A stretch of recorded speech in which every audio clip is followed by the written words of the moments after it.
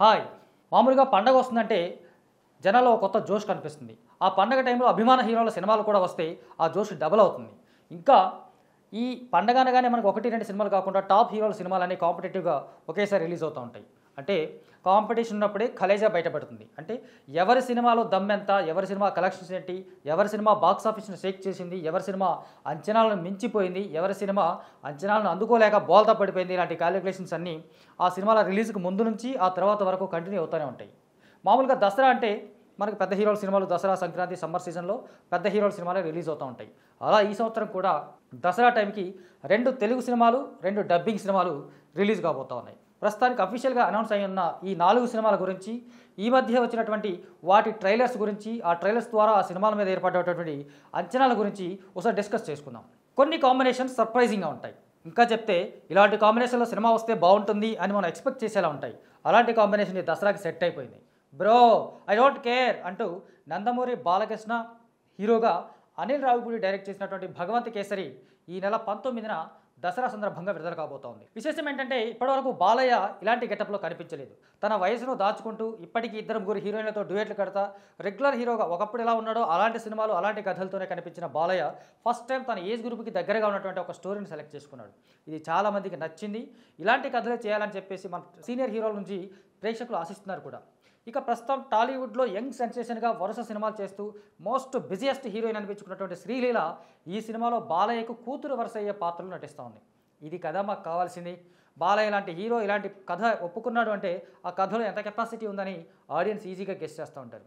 పెళ్ళి తర్వాత ఒక బిడ్డకు తల్లి అయినాక సెకండ్ ఎండింగ్స్ లాగా కాజల్ ఈ సినిమాతో తెలుగులోకి మళ్ళీ అడుగు పెడుతోంది ఎలా చూసినా ఒక క్రేజీ కాంబినేషన్ ఇది. అనిల్ రావుపూడి బాలకృష్ణ కాంబినేషన్ క్రేజీ అనుకుంటే ఇందులో శ్రీలీల ఆయన కూతురుగా నటించడం ఫస్ట్ టైం కాజల్ అగర్వాల్ ఆయనకి పేరుగా నటించడం అనేది ఒక రకంగా ఒక కొత్త కాంబినేషన్ తెర మీద ఒక ఫ్రెష్ లుక్ ఉండేటువంటి కాంబినేషన్ ఇక దీనికి తోడు విలన్గా national award winner Bollywood actor Arjun Rampal నటిస్తున్నాడు అతను కూడా ఇది ఫస్ట్ తెలుగు సినిమా. సో ఓవరాల్గా ఒక ఫ్రెష్ కాంబినేషన్లో స్క్రీన్ మొత్తం ఫ్రెష్గా కనిపించేటువంటి సినిమా లాగా ఇది కనిపిస్తూ ఉంది.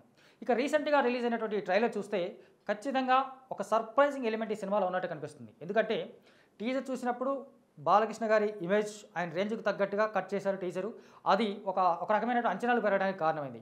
ఆ తర్వాత వచ్చిన రెండు పాటలు సూపర్బ్ అనిపించుకున్నాయి.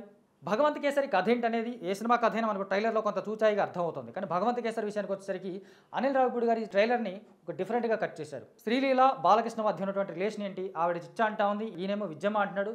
ఆర్మీలో సెలెక్ట్ అవ్వడమే ఆమె లక్ష్యంగా బాలకృష్ణ గారు ఆమెను ట్రైన్ చేస్తూ ఉన్నాడు. తనకేమో ఇష్టం లేదు. వీళ్ళిద్దరి మధ్య ఒక చిన్న సంఘర్షణ ఆ జాబ్కి సంబంధించినట్టు ఒక చిన్న సంఘర్షణ. కట్ చేస్తే విలన్ ఎంటర్ అవ్వడం.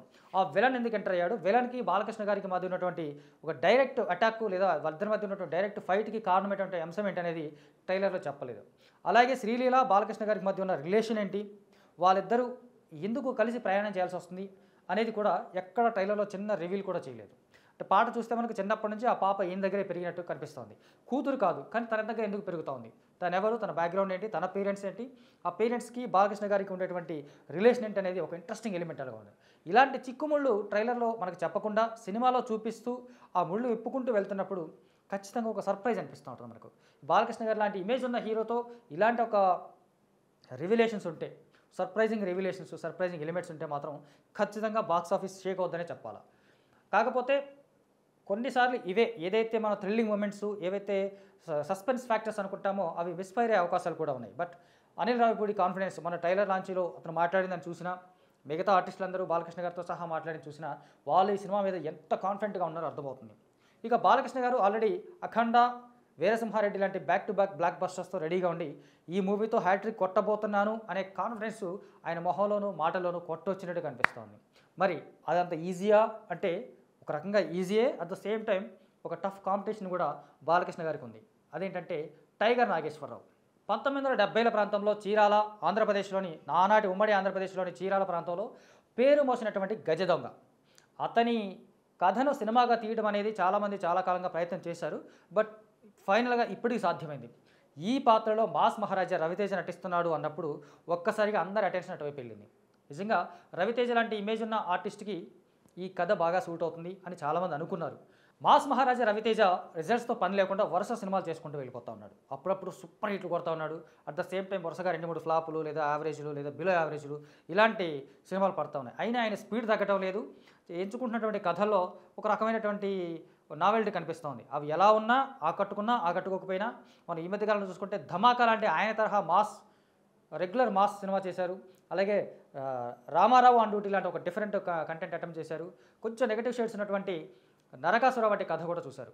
ఈ రిజల్ట్స్ ఎలా ఉన్నా వీటి రిజల్ట్స్ ఎలా ఉన్నా కూడా ఆయన ఎంచుకుంటున్నటువంటి కథలో కొత్తదనాన్ని కోసం ప్రయత్నం చేస్తున్నాడు అన్న విషయం మాత్రం అర్థమవుతుంది. కోర్స్ ఏ సినిమా ఫలితమైన హీరోల చేతిలోనూ దర్శకుల చేతుల్లోనూ ఉండదు. ఒక్కోసారి మిస్ఫైర్ అవుతూ ఉంటుంది. అలా ఈసారి ఆయన టైగర్ నాగేశ్వరరావుగా నటించబోతున్నాడు అన్నప్పుడు అందరి అటెన్షన్ ఆయన వైపు వెళ్ళింది. ఎందుకంటే ఉమ్మడి ఆంధ్రప్రదేశ్లో పంతొమ్మిది వందల డెబ్బైల ప్రాంతంలో చీరాల చినగంజాం ఆ ఏరియాలో అత్యంత పేరు మోసినటువంటి గజ దొంగగా ఈ నాగేశ్వరరావుకు పేరుంది. అలాంటి వ్యక్తి పాత్రలో లేదా వ్యక్తిని పోలిన పాత్రలో మాస్ మహారాజా కనిపిస్తున్నాడు అన్నప్పుడు ఖచ్చితంగా ఓ కొత్తదనం ఆయన నుంచి ఎక్స్పెక్ట్ చేయొచ్చు. ఒక కొత్త తరహా పాత్రలో ఆయన చూడబోవచ్చు అని అభిమానులతో పాటు సాధారణ ప్రేక్షకులు కూడా అనుకున్నారు. అందుకు తగ్గట్టుగానే ఈ మూవీ ఫస్ట్ లుక్ నుంచి టీజర్ సాంగ్స్ వరకు ఒక కొత్త కంటెంట్ చూడబోతున్నాం అనే ఒక ఇంట్రెస్ట్ని క్రియేట్ చేశాయి. ఇక ట్రైలర్ మామూలుగా ఏ సినిమా మీదైనా మనకు ఒక ఎక్స్పెక్టేషన్స్ పెంచేది దాని గురించి ఒక అవగాహన తీసుకొచ్చేది ట్రైలర్. ఆ ట్రైలర్ చూసుకుంటే టైగర్ నాగేశ్వరరావు ట్రైలర్ నిజంగా వండర్ఫుల్గా కట్ చేశారు. ప్రతి షాట్ ప్రతి ఫ్రేము ఒక్కొక్క పర్టికులర్గా ఇలాగ ఉండాలి సినిమా తీసినట్టుగా ఈ ట్రైలర్ చూస్తే అర్థమవుతుంది. ఆ టైగర్ నాగేశ్వరరావు పాత్రలు రవితేజ గారు అచ్చంగా ఒదిగిపోయినట్టుగా కనిపిస్తూ ఉన్నాయి నిజంగా కొన్ని పాత్రల్ని అడాప్ట్ చేసుకోవడం. మనకు ఆయన గురించి రెఫరెన్స్లు ఉంటేనో లేదా ఒక ఏదైనా చరిత్రలో పుస్తకాలు ఉంటేనో కొన్ని పాత్రలు మనం దాని రెఫరెన్స్ తీసుకొని చేసుకోవచ్చు. కానీ టైగర్ నాగేశ్వరరావు అనే దొంగ పాత్రను రెఫరెన్స్గా తీసుకొని అంబియన్స్ని రీక్రియేట్ చేయడం లేదా ఆ పాత్రని తాలూకు ఒక ఒక క్యారెక్టరైజేషన్ని క్రియేట్ చేయడం అనేది ఒక నటుడు ఆ అడాప్ట్ చేసుకోవడం అనేది కొంచెం టఫ్గా ఉంటుంది. అట్ ద సేమ్ టైం ఈ సినిమాలో టైగర్ నాగేశ్వరరావు లేదా ఆ స్టోర్టుపురం నాగేశ్వరరావు అనే వ్యక్తి జీవితంలో లేనటువంటి ఒక ఫిక్షనల్ స్టోరీ కూడా యాడ్ చేసినట్టుగా ట్రైలర్లో ఒక సర్ప్రైజింగ్ ఎలిమెంట్ ఉంది. మామూలుగా అప్పటి వరకు అతని ఇది టై నాగేశ్వరరావు కథ. అతను టైగర్ నాగేశ్వరరావుగా మారాడు అన్నప్పుడు ఏకంగా ప్రధానమంత్రినే కనెక్ట్ చేస్తూ ఈ టైగర్ నాగేశ్వరరావు కథని కనెక్ట్ చేస్తూ పెట్టడం అనేది నిజంగా ఒక ఆశ్చర్యకరమైన అంశం. దాన్ని ఎలా వీళ్ళు కన్విన్స్ చేస్తారా కన్విన్సింగ్గా ఎలా చెప్తారా అనేది సినిమా మీద తెలుస్తుంది కానీ ఒక సాధారణ గజ దొంగ కోర్స్ ఆయన ప్రాంతంలో ఆయన పోలీసులు గడగడలాడించాడు. తను దొంగతనం చేసినా ఎవరైనా కొట్టినా కొట్టేయాలనుకున్నా పోలీసులకు సమాచారం ఇచ్చి మరీ చెప్తానని ఒక డైలాగ్ కూడా ఉంది. నిజానికి ఆయన కూడా అప్పట్లో ఆయన గురించి కథలుగా చెప్పుకున్న వాళ్ళు స్టోర్పురం నాగేశ్వరరావు తను ఏదైనా చేయాలనుకుంటే పోలీసులకు ముందే సమాచారం ఇచ్చి సవాల్ విసిరి మరీ దొంగతనానికి వెళ్ళేవాడు అంటారు. ఇది ఒక కమర్షియల్ మాస్ హీరో లక్షణం. అది రవితేజలో పుష్కలంగా ఉంది కాబట్టి ఈ సినిమా ఖచ్చితంగా విజయం సాధించే అవకాశాలు ఉన్నాయి. దసరా బరిలో బాక్స్ ఆఫీస్ వద్ద ఒక బ్లాక్ బస్టర్ అయ్యే అవకాశాలు ఉన్నాయి అని చాలామంది అనుకున్నారు. బట్ ఇందాకే చెప్పినట్టు ఈయన కూడా ఉన్న హడిల్ భగవంత్ కేసరి. బాలకృష్ణని ఢీకొని బాలకృష్ణ గారిని ఢీకొని నిలబడడం అనేది అంత ఈజీ విషయమే కాదు. పైగా అది క్రేజీ కాంబినేషన్ ఫ్రెష్ కాంబినేషన్ లాగా కనిపిస్తూ ఉంది. రవితేజ గారిది కూడా ఈ సినిమా డైరెక్టర్ విషయానికి వచ్చేసరికి టైగర్ నాగేశ్వరరావు సినిమా డైరెక్టర్ వంశీ గతంలో రెండు సినిమాలు తీశాడు అవి రెండు పెద్దగా ఆకట్టుకోలేదు. దొంగాట కిట్టు ఉన్నాడు జాగ్రత్త అనే రెండు సినిమాలు అతను రూపొందించాడు. బట్ ఆ సినిమాలో దర్శకుడుగా కానీ కథకుడుగా కానీ కథనం పరంగా కానీ అతను ఎలాంటి ఇంపాక్ట్ చూపించలేకపోయాడు. అంచేత ఈ టైగర్ నాగేశ్వరరావుకి సంబంధించి ఏదైనా ఒక చిన్న డౌట్ ఉందంటే కనుక అది దర్శకుడు కోణం నుంచి వస్తుంది. ఒకవేళ దాన్ని అధిగమించి ఒక కసిగా ఈ సినిమాను అతను రూపొందించుంటే కనుక ఖచ్చితంగా ఒక మంచి విజయం అందుకుంటాడు. సో నందమూరి బాలకృష్ణ గారి భగవంత్ కేసరి అక్టోబర్ పంతొమ్మిదిన విడుదలవుతుంటే టైగర్ నాగేశ్వరరావు అక్టోబర్ ఇరవైన రిలీజ్ అవుతుంది ఈ రెండు సినిమాల మధ్య ఒక్కరోజు గ్యాప్ ఉంది. అయితే వీళ్ళతో పాటు పోటీగా మరో రెండు డబ్బింగ్ సినిమాలు ఉన్నాయి డబ్బింగ్ సినిమాలే కదా అని కొట్టిపడేయడానికి లేదు. ఎందుకంటే ఈ మధ్య డబ్బింగ్ సినిమాలు దేశవ్యాప్తంగా బాక్స్ ఆఫీస్ని రూల్ చేస్తూ ఉన్నాయి. ఒరిజినల్ సినిమాలకు మించిన విజయాలు సాధిస్తూ ఉన్నాయి. పైగా ఒక క్రేజీ కాంబినేషన్ మనకు బాగా తెలిసిన కాంబినేషన్ కాబట్టి ఈ సినిమా మీద కూడా ప్రతి ఒక్కరు దృష్టి ఉంది. ఆ డబ్బింగ్ సినిమా మన రెండు తెలుగు సినిమాలకు మంచి పోటీ ఇస్తుందని ఒక అంచనా ఉంది. ఆ సినిమా లియో. తమిళ్ స్టార్ ఇళయ దళపతి నటించినటువంటి ఈ సినిమా దర్శకుడు లోకేష్ కనకరాజ్. లోకేష్ చాలా మెల్లగా మొదలై ఇండియా వైడ్గా దేశవ్యాప్తంగా బాక్స్ ఆఫీస్ని ఒక సునామీలాగా చుట్టేస్తూ ఉన్నాడు మొదటి సినిమా మానగరం పెద్దగా అక్కడ సూపర్ హిట్ మన దగ్గర కూడా కొంచెం బాగానే ఆకట్టుకుంది. ఆ తర్వాత వచ్చిన ఖైదీ ఇదే విజయ్తో చేసినటువంటి మాస్టర్ రీసెంట్గా వచ్చినటువంటి విక్రమ్ ఇలా అతను పరాక్రమం చూపించుకుంటూ బాక్స్ ఆఫీస్ షేక్ చేసుకుంటూ వెళ్తున్నాడు. ముఖ్యంగా విక్రమ్ ఎంత పెద్ద విజయం సాధించిందో అందరికీ తెలుసు మన తెలుగులో సహా. విక్రమ్ లాంటి ఒక కంప్లీట్ మాసివ్ ఎంటర్టైనర్ తర్వాత అతను మళ్ళీ విజయ్తో సినిమా చేస్తున్నాడు అనగానే అంచనాలు పీక్స్కి వెళ్ళిపోయాయి సరే మిగతా భాషలో ఎలా ఉన్నా తమిళ్ళో మాత్రం ఆ అంచనాలు ఎక్కడో ఉన్నాయని చెప్పాలి. ఇక ఈ సినిమా కూడా సంబంధించి చూసుకుంటే పాటలు ఇప్పటివరకు విడుదలైన పాటలు అయితే పెద్దగా ఆకట్టుకోలేదు. ఒక్కొక్క ఫస్ట్ లుక్స్ మాత్రం కథని రివీల్ చేస్తూ కథలో హీరో క్యారెక్టరైజేషన్ రివీల్ చేస్తూ ఒక్కొక్క లుక్ ఒక్కొక్క లుక్ రిలీజ్ చేసుకుంటూ రిలీజ్ చేసుకుంటూ వచ్చి వచ్చారు. ఎలా చూసినా ఇప్పటివరకు ఈ సినిమా మీద భారీ అంచనాలు ఏర్పడేలాగా అట్లీస్ట్ మిగతా భాషలో ఒక బిగ్ ఈవెంట్ లేదా ఒక బిగ్ సర్ప్రైజింగ్ అనేది లేదు ఇంక్లూడింగ్ ట్రైలర్. నిజానికి లియో ట్రైలర్ చాలా తక్కువ టైంలో ఎక్కువ వ్యూ సంపాదించుకుంది యూట్యూబ్ని షేక్ చేసింది ఇలా చెప్పుకున్నప్పటికీ అది ప్రేక్షకుల అంచనాలను అందుకోలేదు. అనేది వాస్తవం. స్వయంగా తమిళనాడులో విజయ్ ఫ్యాన్స్ కూడా ఒప్పుకున్నటువంటి అంశం. వాళ్ళు సినిమాలో ఓ థియేటర్లో ట్రైలర్ రిలీజ్ చేసినప్పుడు ట్రైలర్ వాళ్ళకి నచ్చలేదని ఒక థియేటర్నే ధ్వంసం చేశారు. సో ఒకవేళ లోకేష్ కనకరాజ్ తన మీద ఉన్న అంచనాలు మరీ ఎక్కువగా ఉంటే సమస్య అవుతుంది. వీటిని కొంచెం తగ్గించాలనే కారణంతో లో ప్రొఫైల్ మెయింటైన్ చేస్తూ లియో ట్రైలర్ ఇలా కట్ చేశాడా లేదా అనేది చెప్పలేం కానీ విజయ్ డ్యూయల్ రోల్ చేశాడనేది స్పష్టంగా తెలిసిపోతా ఉంది. విలన్ పాత్రలో బాలీవుడ్ స్టార్ సూపర్ స్టార్ ఆయన ఇప్పుడు నటిస్తే సినిమా బ్లాక్ బస్టర్ అనే ఒక సెంటిమెంట్ కూడా క్రియేట్ చేసుకుంటున్నాడు. సంజయ్ దత్. అలాగే ఒకప్పుడు మన దగ్గర యాక్షన్ కింగ్ హీరోగా పేరు తెచ్చుకున్నటువంటి అర్జున్ సర్జా విలన్గా నటిస్తూ ఉన్నారు. చాలా కాలం తర్వాత ఆల్మోస్ట్ ఒక ten more than ten years తర్వాత త్రిష విజయ్కి జోడీగా నటిస్తూ ఉంది. ఇది కూడా ఒక డిఫరెంట్ కాంబినేషన్ చాలామంది ఆర్టిస్టులు ఉన్నారు. డైరెక్టర్ గౌతమ్ మీనన్ ఉన్నాడు మిష్కిన్ ఉన్నాడు. ఇలా ఒక డిఫరెంట్ డిఫరెంట్ ఆర్టిస్టులు వీళ్ళతో పాటు.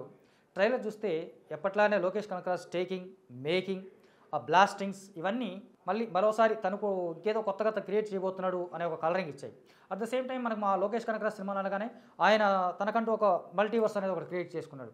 ఖైదీకి సీక్వెల్ లాగా విక్రమ్ అనిపించింది. విక్రమ్ సీక్వెల్ లాగా ఈ లియో అనిపిస్తుంది అనిపించుకున్నప్పుడు అలా కనిపించలేదు వాస్తవంగా లియో. నిజానికి ఇది ఒక హాలీవుడ్ సినిమా. కాపీ కొట్టారు కాపీ కొట్టారని చెప్పారు. బట్ ఇది ఆ సినిమా రీమేక్ రైట్స్ తీసుకొని లోకేష్ కనకరాజు రూపొందించాడంట. ఆ విషయం ఇప్పటిదాకా చెప్పలేదు. బట్ ఆ షార్ట్ టు షార్ట్ మాత్రం ఈయన తనదైన స్టైల్లో ట్రీట్మెంట్ ఇచ్చాడనేది తమిళనాడు నుంచి అక్కడి నుంచి చెప్తున్నటువంటి విషయం. సో ఎలా చూసినా ఇక్కడ విజయ్కి తెలుగులో కొంత మార్కెట్ ఈ మధ్య క్రియేట్ అయింది. లోకేష్ కనకరాజ్ మీద అంచనాలు ఉన్నాయి. త్రిష మనందరికీ బాగా తెలిసిన అమ్మాయి. ఇలా చూసుకున్నప్పుడు ట్రైలర్ ఎలా ఉన్నా సరే లోకేష్ మీద చాలామందికి నమ్మకం ఉంది. విజయ్ కూడా ఈ మధ్య కొంచెం కొత్త తరహా కథలు ఒకప్పుడు తన సాంబార్ కథలాగా రెగ్యులర్ రొటీన్ తమిళ్ ఫ్లేవర్ ఉన్న స్టోరీస్ తీసుకునేవాడు. బట్ కొన్నాళ్ళుగా తెలుగు మార్కెట్ కోసం ట్రై చేస్తున్నప్పుడు ఖచ్చితంగా అతను మారాడు. అందరు కొంచెం యూనిక్గా ఉన్న కంటెంట్లు సెలెక్ట్ చేసుకుంటున్నాడు కాబట్టి ఈ సినిమా లియో అక్టోబర్ పంతొమ్మిదిన విడుదల కాబోతున్న లియో మన రెండు తెలుగు సినిమాలకి. భగవంత్ కేసరి టైగర్ నాగేశ్వరరావు కూడా ఒక టఫ్ కాంపిటీషన్ ఇస్తుంది అనే ఒక అంచనాలు అయితే స్పష్టంగా ఉన్నాయి. పైగా ఈ సినిమాని తెలుగులో సితార్ ఎంటర్టైన్మెంట్స్ బ్యానర్ వాళ్ళు రిలీజ్ చేస్తూ ఉన్నారు. వాళ్ళకు కూడా ఆ థియేటర్ వ్యవస్థ లేదా డిస్ట్రిబ్యూషన్ వ్యవస్థ మీద కొంచెం ఒక పట్టు ఉంది కాబట్టి వీళ్ళకి కూడా మంచి థియేటర్స్ దొరికే అవకాశాలు ఉన్నాయి. ఆ రకంగా కూడా లియో తెలుగు సినిమాలకు పోటీ ఇస్తుంది ఇచ్చే అవకాశాలు ఉన్నాయి అని ఖచ్చితంగా చెప్పొచ్చు. సో ఈ మూడు సినిమాలతో పాటు రెండు తెలుగు సినిమాలు ఈ తమిళ సినిమాతో పాటు ఫస్ట్ టైం తెలుగు మార్కెట్ మీద దండయాత్రకు బయలుదేరాడు కన్నడ మెగాస్టార్ కరుణాథ చక్రవర్తి డాక్టర్ శివరాజ్ కుమార్. శివరాజ్ కుమార్ అంటే మన తెలుగు ప్రేక్షకులకు పెద్దగా తెలియదు. ఆయన అప్పుడప్పుడు డబ్బింగ్ సినిమాలు ఏవో చేసినప్పటికీ కూడా పెద్దగా తెలుగులో ఆయనకి మార్కెట్ లేదు తెలుగు ప్రేక్షకుల్లో ఇమేజ్ లేదు. కాకపోతే కన్నడ నుంచి ఆయనకి కొంతమంది అభిమానులు ఉన్నారు. అంటే కన్నడ సినిమాల ద్వారా తెలుగులోనే కొంతమంది అభిమానులు ఉన్నారు. ముఖ్యంగా ఆయన నటించినటువంటి ఓం ఉపేంద్ర డైరెక్ట్ చేసిన ఓం ప్రపంచవ్యాప్తంగా అత్యధిక సార్లు రీ రిలీజ్ అయిన ఏకైక సినిమా.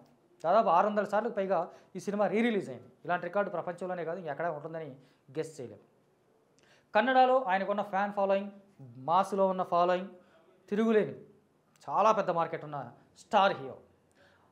ఆ మధ్య బాలకృష్ణ గారి గౌతమిపుత్ర శాతకర్ణిలో స్టార్టింగ్లో ఒక చిన్న గెస్ట్ రోల్ కూడా చేశారు. ఎలా చూసుకున్నా ఈ తెలుగులో ఇప్పుడైతే ఆయన మార్కెట్ లేదు. అయినా సరే ఒక మార్కెట్ని క్రియేట్ చేసుకోవడం కోసం ఇప్పుడున్నటువంటి పాన్ ఇండియన్ కల్చర్ ఏదైతే నడుస్తుందో యూనిక్ కంటెంట్ ఎక్కడికి వెళ్ళినా సూపర్ హిట్ అవుతోంది. రీసెంట్గా మన కన్నడ నుంచి వచ్చినటువంటి కాంతారా చూసాం. బ్లాక్ బస్టర్ అయింది. అంతకుముందు వచ్చిన చార్లీ చాలామందిని ఆకట్టుకుంది. రీసెంట్గా వచ్చిన సప్త సాగరాలు దాటి కొంచెం ఒక వర్గపు ప్రేక్షకులందరినీ మెప్పించగలిగింది. ఇలా చూసుకుంటే ఇప్పుడు శివరాజ్ కుమార్ కూడా ఘోస్ట్ అనే సినిమాతో తెలుగులో రాబోతా ఉన్నాడు. ఈ సినిమా ఎవరు రిలీజ్ చేస్తారు? ఎన్ని థియేటర్లు రిలీజ్ అవుతుంది? ఇవన్నీ పక్కన పెడితే ఒక రకంగా దసరా బరిలో ఈయన కూడా ఉన్నాడు ఈయన కూడా ఒక పోటీగా వస్తున్నాడు అనేది ఒకటి మనకు స్పష్టంగా తెలిసిపోతుంది. రీసెంట్గా ఈ ఘోస్ట్ మూవీ ట్రైలర్ చూస్తే ఇతను కూడా మన తమిళ్ డైరెక్టర్ల ఫ్లేవర్లోనూ శ్రీని అనే ఒక కొత్త ఒక దర్శకుడు దీన్ని రూపొందించాడు. అతను ఒక విక్రమ్ లాగానో లేదా ఒక అట్లీ లాగానో కొంచెం ఒక బ్లాస్టింగ్ కంటెంట్తో ఈ సినిమా రూపొందించినట్టుగా తెలుస్తుంది. ఒక ఒరిజినల్ గ్యాంగ్స్టర్ ఒక పెద్ద గ్యాంగ్స్టర్ స్టోరీ లాగా ఇది కనిపిస్తోంది. అందుకే అతన్ని ఘోస్ట్ అన్నారు. ఈ సినిమాలో నిజానికి మనకి ఓజీ అని మనకి పవన్ కళ్యాణ్ సినిమా వస్తుంది. ఈ సినిమాలో కూడా శివరాజ్ కుమార్ని అందరూ ఓజీ అంటారు. అది మనకి టీజర్లో లాస్ట్ టైం చెప్పారు. ఓజీ అంటే ఒరిజినల్ గ్యాంగ్స్టర్. గ్యాంగ్స్టర్ సామ్రాజ్యాన్ని ఢీ కొట్టాల్సి వచ్చినప్పుడు ఇలాంటి ఒక వ్యక్తి వెళ్తే ఎలా ఉంటుంది అనేది ఒక కథలా కనిపిస్తుంది. పెద్దగా కథ రివీల్ చేయలేదు ట్రైలర్లో. కాకపోతే శివన్న శివరాజ్ కుమార్ అలియా శివన్న మాత్రం ఫస్ట్ టైం తెలుగులో వస్తున్నాడు. ఇలాంటి ఒక కంటెంట్ ఆయన తమ కన్నడలో కూడా ఇలాంటి కథ నాకు తెలిసి ఫస్ట్ టైమే ఉంటుంది. కొత్తగా ఊరమాసు మాసం టెన్ ఇయర్స్ చేసి ఉండొచ్చు కాక. బట్ ఈ తరహా కథ కంప్లీట్ గన్స్ బ్లాస్టింగ్స్ ఫైరింగ్స్ ఇలాంటివి బ్లడ్ షెడ్ ఇవన్నీ ఉన్న కథలు ఆయన కూడా కొంచెం కొత్తగా వస్తుంది. ఈ సినిమా ట్రైలర్లో ఒక డైలాగ్ ఇంట్రెస్టింగ్గా ఉంది. నేను సాధారణంగా ఎవరి జోలికి వెళ్ళను ఓడిపోతాననే భయం కాదు. నేను వెళితే రణరంగం మారణ హోమంగా మారుతుంది అంటాడు. ఇది బట్టి హీరో క్యారెక్టర్స్ మనకు అర్థమవుతుంది. బట్ శివన్నకి ఇక్కడ మార్కెట్ లేదు. ఒకవేళ ఈ సినిమాతో క్రియేట్ అయ్యే అవకాశాలు ఉంటాయి. దట్టు సినిమా బ్లాక్ బస్టర్ అయ్యి బెస్ట్ కంటెంట్ ఉంటే కనుక బ్లాక్ బస్టర్ అయితే కనుక ఈ సినిమా నుంచి కూడా శివన్నకి ఒక మార్కెట్ క్రియేట్ అవుతుంది. ఆల్రెడీ మనకి రామ్ గోపాల్ వర్మ రూపొందించినటువంటి వీరప్పన్లో పోలీస్ ఆఫీసర్ పాత్రలో బాగా ఆకట్టుకున్నాడు. బట్ ఆ తర్వాత కంటిన్యూస్గా ఆయన సినిమాలు ఏవి తెలుగులో రాలేదు. అది కూడా ఆయన మార్కెట్ లేకపోవడానికి ఒక కారణం. బట్ ఈ దసరా బరిలో ఉన్నటువంటి నాలుగు సినిమాల్లో తను కూడా వన్ ఆఫ్ ద కాంపిటీటర్స్గా వస్తున్నాడు అనేది తేలిపోయింది.